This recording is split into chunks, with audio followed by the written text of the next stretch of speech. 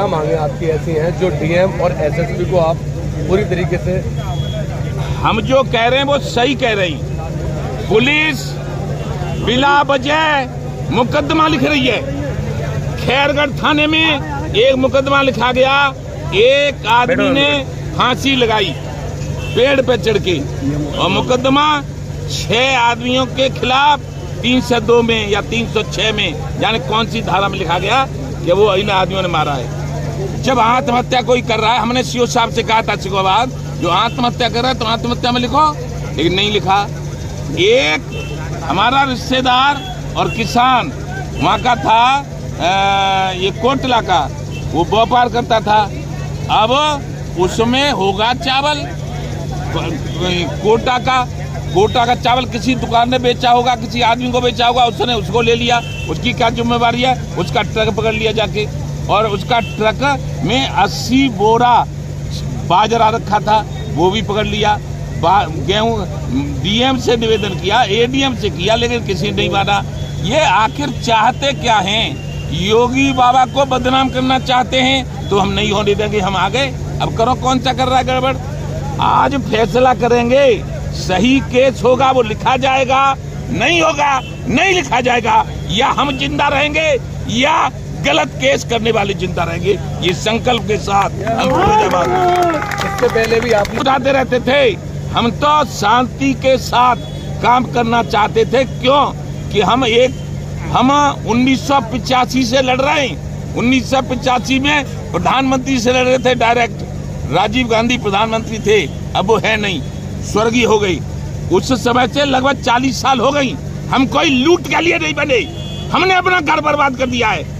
हमने त्याग तपस्या बलिदान की कहानी लिख दी है? हमारे पास कुछ नहीं है। हम पाँच ईंट नहीं लगा पाए कहीं, एक प्लॉट नहीं खरीद पाए कहीं। लेकिन ये जो प्रशासन के अधिकारी हैं, जो रुपया लेकर रुपया लेकर पाँच लाख रुपया दे दो, कोई मुलजिम नहीं है। यदि नहीं दोगे तो सब मुलजिम हैं। यदि रुपया दे दो दो लाख तो उसमें कुछ नहीं है, ट्रक में खुल जाएगा। नहीं दोगे तो ट्रक सड़ जाएगा, तब तक नहीं छूटेगा, कोर्ट से छूटेगा, ये छूटेगा, वो छूटेगा, मीडिया में चल गया, इसलिए नहीं छूटेगा। तो आज हम मीडिया में चला रहे हैं कि फिरोजाबाद प्रशासन, जिला प्रशासन और फुलेजाबाद पुलिस प्रशासन, हम मुख्यमंत्री से मांग करते हैं कि एकदम सबको यहाँ से सस्पेंड करके भेजा जाए।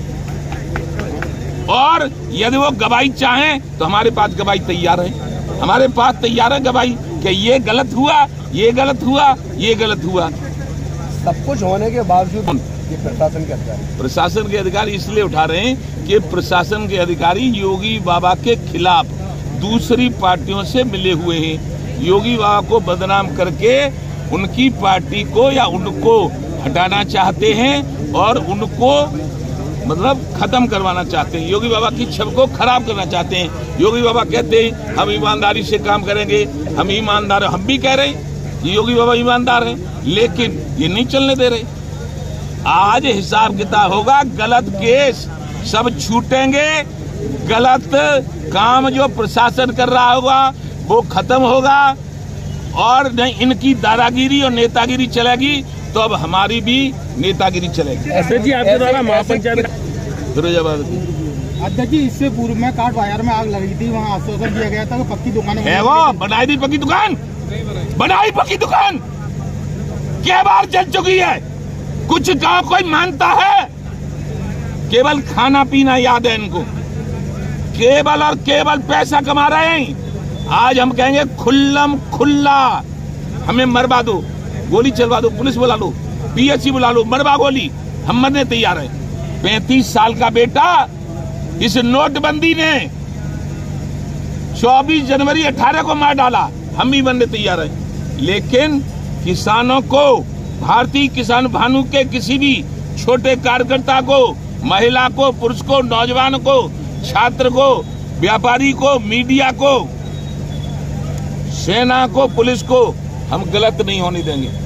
हाँ ये हमारा कल संकल्प कल योगी आदित्यनाथ आए थे बटेश्वर उनने किसानों को लेकर के मांग मांग जो पूरी रखी है जैसे कि सोलर पंप है वो दिए जाएँगे पचास हज़ार किसानों को और जो आलू शोध है जो आगरा में निकाला जाएगा। योगी बाबा आए थे कह के चले गए। अब जे माने तभी तो। योगी बाबा क्या करेंगे वहाँ में योगी बाबा वहाँ में क्या कर लेंगे? करना तो इन्हें। सोलर पंप दे जाएँगे दो दूध वाला का दिया तो दे जा तो दे जाके पंप क्या करो बोल अरे हम पे। भाई साहब सुनो, भ्रष्टाचार के खिलाफ हम तीन महीने से चिल्ला रहे लखनऊ में भी चिल्लाया आए सब जगह चिल्लाया है कि फिरोजाबाद ज़िले में भ्रष्टाचार एक एक जिला देखेंगे। अबही का है। अबही तो सुनो अबही तो एक भ्रष्टाचार चल रहा है, वो हाथरस हाथरस जिला है। और सादाबाद सादाबाद तहसील सादाबाद विधानसभा है मिड़ावली गाँव है। वहाँ धरना चल रहा है दस पंद्रह दिन से।